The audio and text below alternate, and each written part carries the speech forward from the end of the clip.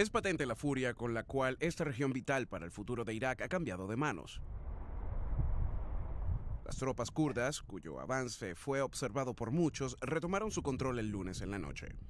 Pero está llena de minas, e ISIS rara vez se repliega.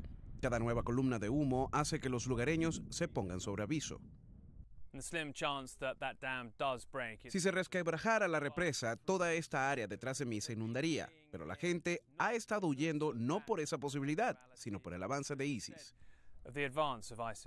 Esos aires tranquilos han tenido nuevos visitantes, aviones de guerra estadounidenses, cuyo rugido se oye periódicamente. Aquí una de las aldeas está bajo el control de ISIS, la otra de los kurdos. Esa aldea cristiana, blanco clave para el fervor de convertir de ISIS, se vació por completo. Se mudaron a este lugar, un monasterio cobijado en las rocas por 1700 años. El salvajismo de ISIS puede parecer medieval, pero aquí la serenidad de ceremonias y tiempos pasados brindan a algunos una breve paz. Incluso en lugares que han visto de todo. ISIS, que aquí se conoce como Daesh, es diferente.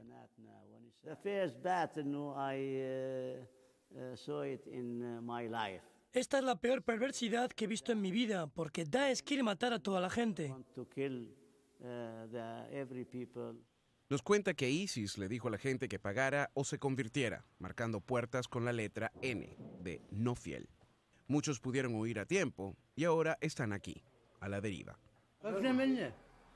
Teníamos miedo, estábamos aterrados de que nos tildaran de infieles. Mi amigo musulmán me dijo que me fuera. Su marido nos muestra cómo recuerda a sus atormentadores. Otros tienen miedo de hablar. Algunos piensan que ISIS no se atrevería a entrar en este sitio sagrado. Todos esperan jamás tener que averiguar lo contrario. Nick Patton Walsh, CNN, cerca de la represa de Mosul.